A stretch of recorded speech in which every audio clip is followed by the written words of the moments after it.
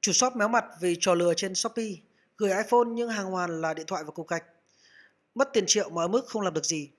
Lợi dụng chương trình bảo vệ khách hàng nhằm tránh các trường hợp người mua bị lừa đảo bởi gian thương ở Shopee, một số đối thủ xấu đã sử dụng nhiều thủ đoạn khác nhau để trục lợi cá nhân gây thiệt hại đáng kể cho một số chủ shop trên sàn thương mại điện tử này.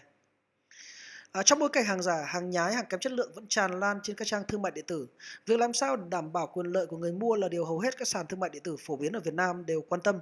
Chẳng hạn như chính sách của Shopee cho phép người mua sau khi nhận sản phẩm có thể yêu cầu gửi trả hàng trong vòng 3 ngày. Quy trình đổi trả hàng cũng rất đơn giản. Khi người mua chỉ cần có bằng chứng để có thể biết được sản phẩm bị lỗi, vỡ sai hoặc không đúng như mô tả. Nếu hai bên đạt được thỏa thuận với nhau và người bán không có khiếu nại, yêu cầu trên của người mua sẽ được Shopee tự động chấp nhận trong vòng 2 ngày. Ngược lại, nếu người bán có khiếu nại và yêu cầu trả hàng hoàn tiền của người mua, họ sẽ phải cung cấp các bằng chứng trên Shopee để chứng minh yêu cầu của người mua không hợp lệ. Shopee sẽ xem xét bằng chứng của hai bên cung cấp và liên hệ với người mua trong vòng 3 đến 5 ngày làm việc tiếp theo để đưa ra hướng xử lý. Theo nhiều nhận xét của nhiều chủ shop trên sàn Shopee, sàn thương mại điện tử này có xu hướng bảo vệ quyền lợi của người mua hơn người bán. Đáng chú ý, mặc dù một số chính sách đặc biệt à, có hữu ích với người thường xuyên mua hàng qua mạng, tuy nhiên thời gian đây, nhiều đối tượng xấu đã lợi dụng các lỗ hổng trên quy trình đổi trả hàng để trục lợi cá nhân, khiến nhiều người bán hàng trên Shopee rơi vào cảnh tiền mất tật mang. Sử dụng chiêu trò tinh vi để dùng hàng chùa hoặc chiếm đoạt hàng giả. Trong một số nhóm kín trên Facebook, PAH, một đối tượng có thâm niên đá hàng trên các sàn thương mại điện tử khẳng định, việc qua mặt cả người bán lẫn người uh, lẫn người quản lý shop như là Shopee không quá tinh vi mà trả lại rất là đơn giản.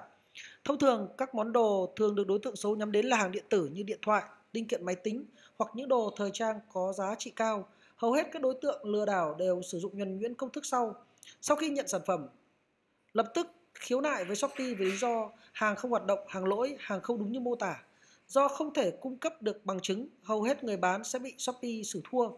Khi xảy ra việc tranh chấp, khi yêu cầu là trả hàng hoàn tiền đã được Shopee chấp nhận. Những đối tượng xấu chỉ việc là gì chuyển tới đơn vị vận chuyển để gửi trả hàng. Kèm theo việc cung cấp mã vận đơn cho Shopee để chứng minh mình đã chuyển hàng cho bên bán.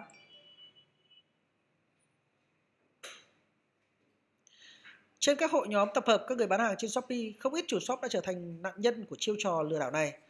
Theo tiết lộ của PAH, với một số người mua tốt tính, họ chỉ đơn giản là dùng chùa đã đời trong vài tuần rồi trả lại cho chủ shop. Mặt khác, vẫn còn những đối tượng à, lập mưu tính kế, đánh cháo và chiếm đoạt tài sản. Trên thực tế, không ít chủ shop đã lâm vào cảnh giờ khóc giờ cười khi hàng gửi đi đều là những sản phẩm đắt tiền, nhưng nhận lại được một gói hàng gồm toàn gạch đá, giấy vụn, ly nước được đóng gói cẩn thận.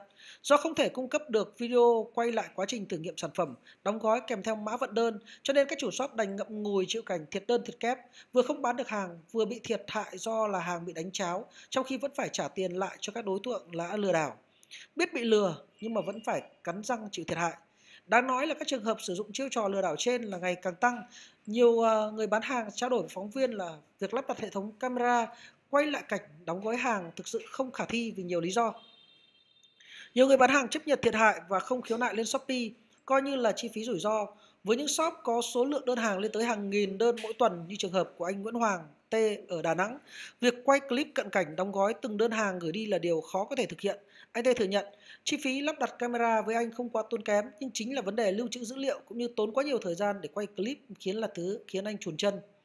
Thông thường, với khoảng 1.000 đơn gửi cho khách hàng, có tỷ lệ vài đơn hàng hoàn lại do là hư hỏng, thậm chí là bị đánh cháo. Tuy nhiên, số lượng đơn xuất đi hàng tháng của mình quá lớn, không thể quay từng đấy video do nhân viên có hạn, trong khi năng suất làm việc có thể bị ảnh hưởng. Do vậy, mình chấp nhận thiệt hại và không khiếu nại lên Shopee, coi như là chi phí rủi ro. Những vấn đề về lưu trữ dữ liệu quá tốn về thời gian và việc cả tốn thời gian để quay clip khiến cho nhiều chủ shop nghìn đơn trên Shopee từ chối lắp đặt camera. Bên cạnh đó, việc vẫn có những trường hợp quay video làm bằng chứng nhưng lại không được Shopee giải quyết một cách thỏa đáng. Vô hình chung đã khiến cho nhiều chủ shop không còn mặn mà việc lắp đặt camera. Anh Đỗ Đức Tùng, Bắc Giang, chủ shop một điện thoại bán trên Shopee là một trường hợp như vậy.